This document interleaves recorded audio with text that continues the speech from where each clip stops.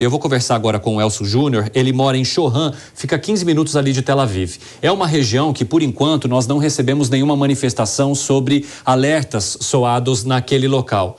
É, daqui a pouco a gente vai conversar então com o Elcio, né? Porque parece que ele perdeu o contato com a gente, não está nos ouvindo por enquanto. Então façam a conexão necessária aí e me avisem para que a gente possa conversar com ele. Porque, Favale, o que a gente tem por enquanto de resposta das forças de defesa israelense é de que os alarmes estão concentrados aqui na região norte, na região sul e também Sim. em Jerusalém, Jerusalém, porque a gente conversou agora há pouco com o presidente da CONIB, que é a Confederação Israelita aqui do Brasil. Eles estão numa excursão até lá para participar de vários eventos que foram montados ali pela Conib em parceria com a, as pessoas que estão em Jerusalém, mas eles tiveram de paralisar isso hoje, correram para o hotel, estão num bunker agora, mas é madrugada lá, então obviamente que nessa, nesse horário não haveria nenhuma atividade, mas eles tiveram de se proteger naquele local. E o Elcio Júnior, com quem a gente vai falar, fica mais próximo aqui de Tel Aviv, uhum. que também tem a, a, um alerta, mas por enquanto ainda não houve nenhuma reação ou nenhuma sirene que soou por lá.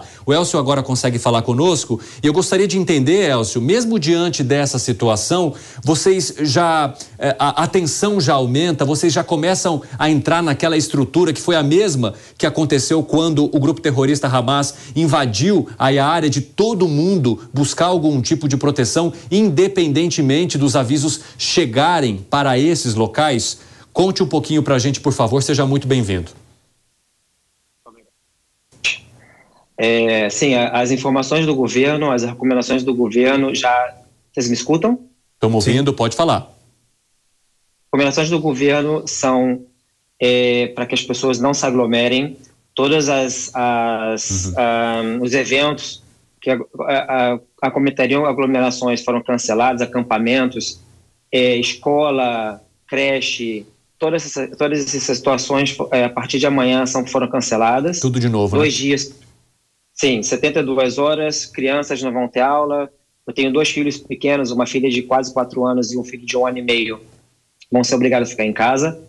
E as recomendações são aquelas de sempre, né? Ficar em casa, é, é se manter perto de um abrigo, as pessoas que podem.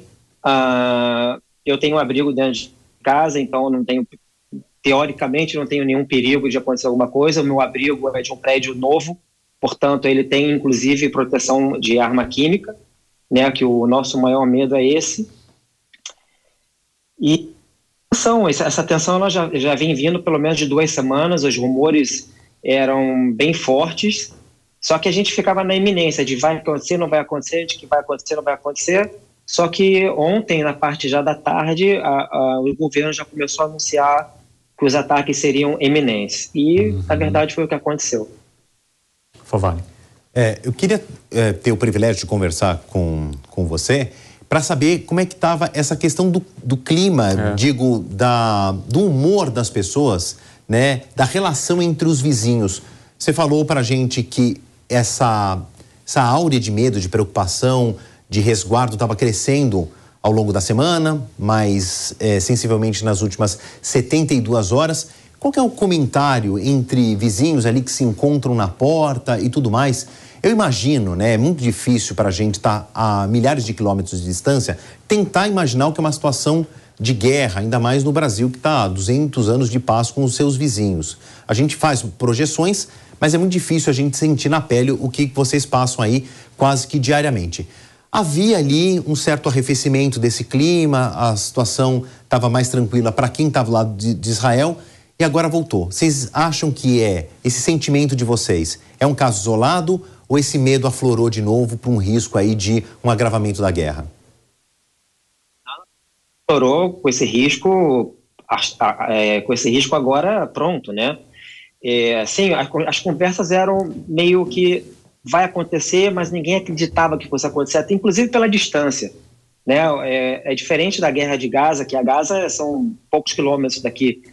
É, Irã, enfim, é uma distância bastante grande. Então as pessoas acreditam, poderiam acreditar que fosse acontecer, mas falavam: ah, tá bom, não vai acontecer.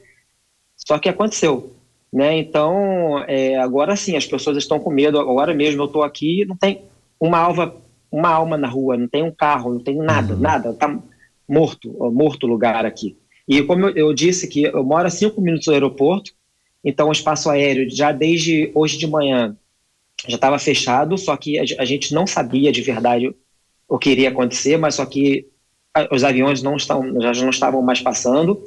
É, eu moro a 15 minutos de Tel Aviv, então, assim, se acontecer um ataque mais próximo de Tel Aviv, eu vou escutar a sirene. Isso não quer dizer que, que, que alguma coisa vai cair aqui. Uhum. Os mísseis, os, os mísseis que, que foram interceptados é, foram mais para perto do sul, lá para perto de deserto de Negev, é, Beersheba. Ou seja, essas pessoas de lá, coitadas, eles sofrem muito mais do que a gente sofre aqui na região central de Israel, né, nesse momento. Claro. Muito mais. Ô Elcio, é, vocês já estavam percebendo algum tipo de aumento de tensão com essas outras autoridades a partir de noticiário, a partir de informações que vocês acompanham aí no Estado de Israel? Sim, as notícias eram, eles falavam muito, né? É, que tavam, as pessoas tinham que se preparar, mas que que, que mantém, tivessem uma atenção, mas que ficassem tranquilos, uhum. né? Porque eles não podem também é, simplesmente falar, olha, se preparem que vai acontecer uma guerra. Então as coisas foram acontecendo devagar no tempo deles, tanto que, na, como eu disse, nas ruas as pessoas conversavam sobre isso. Né? A gente falava, e aí, o que, que vai acontecer? O que, que você está se preparando? A eminência, na verdade, eu pessoalmente, conversando com muitas pessoas, era que fosse acontecer no, no, no, na, festa de Pessah, que é daqui a uma semana, uhum. que é a Páscoa judaica, né? Sim. Era, era geralmente que as pessoas comentavam que era, seria um ataque surpresa na, na festa de Pessah, onde as pessoas estariam despreparadas. Só que não, né? Eles simplesmente começaram com isso agora. E Israel está numa posição muito defensiva no momento. Israel fala muito em se defender, em se defender, em se defender, para que também as pessoas não se assustem de uma maneira que Israel possa atacar o Irã e que aí sim seria, um problema muito grande. Então, Israel, por enquanto, está numa posição muito defensiva, bastante Olha, defensiva. Eu quero até aproveitar que o Elcio estava mencionando toda essa movimentação né, e trazer agora uma imagem que chegou para a gente, que foi gravada justamente no momento em que o Domo de Ferro estava atuando e que esses foguetes chegavam até o território israelense. Nós temos uma imagem que também mostra a intensidade, né, o áudio, o barulho que se faz. Vamos acompanhar agora e eu já volto a conversar com o Elcio.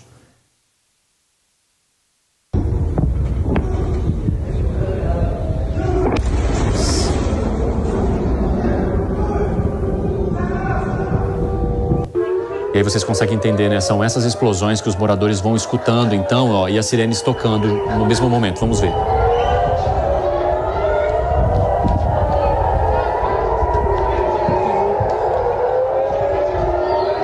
O Elcio, com quem nós estamos conversando agora, ainda não ouviu essas explosões e sirenes, porque na região dele ainda não houve ataques. Mas em Jerusalém, com quem a gente conversava agora há pouco, o presidente da Conib, que está lá, né, junto com um grupo de brasileiros, lá eles já estão, também tiveram de se proteger e ouviram as sirenes e explosões que atingiram ali aquele local. Ô Elcio, eu queria saber de você que sentimento que isso traz, porque eu imagino que, diante é, da escalada da tensão e do aviso das autoridades, as pessoas tenham se mobilizado muito mais rapidamente do que daquela outra vez. Exatamente justamente porque entendem né, que o risco ali é iminente, então todo mundo já deixa algo. Vocês já, já, já claramente são preparados para isso, né, em termos de estrutura de bunker e também do que fazer, vocês são orientados, mas é claro que a movimentação acontece de maneira mais rápida. Mas que sentimento que fica? Fica uma coisa meio de que isso não vai acabar nunca, ou de que é interminável, ou de não conseguir vislumbrar um momento em que você vai poder ficar tranquilo e enviar os seus filhos para a escola ou manter as atividades festivas sem o medo de que um novo ataque aconteça? Vou fazer uma partezinha. Essas explosões das sirenes, para quem não conhece, para quem não sabe, é muito, muito, muito forte. É, né? é, na, na guerra da, que, na, na, em outubro, quando começou todo uhum. o problema com o Hezbollah, eram sirenes atrás de sirenes, explosões atrás de é, explosões, e mesmo que não aconteça onde eu estou no momento, as explosões são tão fortes que você sente o prédio tremer, você sente a janela do bunker tremer. Eu tenho uma, uma, uma torre de sirene que eles colocaram, é, porque eu moro num lugar onde tem muita, muita criança, é, então eles colocaram uma sirene que fica bem do lado da minha casa. Quando a sirene toca, parece que a sirene entra no ouvido e estoura, estoura a cabeça, porque infelizmente a gente precisa disso. E com relação à sua pergunta, sim, a gente se preparou, já tem comida estocada, o governo já está pedindo uhum. para que estoquem comida, pelo menos durante um período de 72 horas, porque o que acontece é o seguinte: se esses mísseis chegarem num número muito grande aqui, são, são mísseis muito grandes, o tempo de, de, como é que fala, o tempo para você, é, é, para você entrar num bunker com os mísseis que vinham do Hezbollah são de dois minutos, em média, certo? Sim. Esses mísseis que estão vindo do Irã, eles estão pedindo que as pessoas fiquem dentro dos bunkers depois que o míssil estourar no céu, que fiquem 10 minutos. Ou seja, é uma diferença de 8 minutos para é. você ficar dentro do bunker. Né? E como, teoricamente, são muitos mísseis que vão chegar, então você vai precisar ficar bastante tempo dentro de um banco. Então eles estão pedindo sim para colocar comprar produtos não perecíveis, armazenar, armazenar, armazenar. Ah, perdão, exatamente, água. É, eles estão com muito medo de uma, uma formação bastante séria. Eles estão com medo de ter é, medo e se preparando, na verdade, um, um ataque cibernético. Então eles estão pedindo para que as pessoas é, comprem rádios com pilha, inclusive, para que se mantenham informados se acontecer alguma coisa, para que eles, é, eles, estão se preparando para um ataque em estações é, é, elétricas de Israel. No caso de acabar a luz, estão pedindo para comprar lanterna. Ou seja, dessa vez eles estão pedindo para as pessoas se prepararem muito mais e que fiquem mais tempo dentro de um bunker, por exemplo.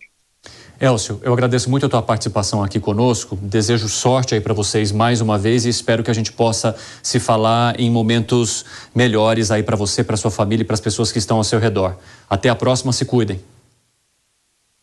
Olha para vocês. Um grande abraço.